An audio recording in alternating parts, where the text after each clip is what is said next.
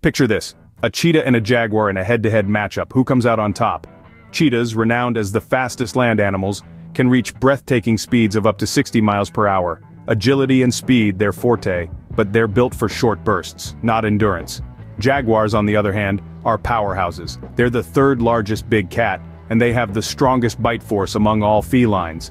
Stealth, strength, and the ability to swim make them formidable predators. But who wins? In a chase, the cheetah takes it. No contest. In a battle of strength, the jaguar reigns supreme. Nature isn't about winners or losers. Each animal is perfectly adapted to their unique challenges. The cheetah and jaguar, champions in their own right. This is the beauty of our natural world. Tune in next time to delve deeper into the fascinating lives of Earth's creatures.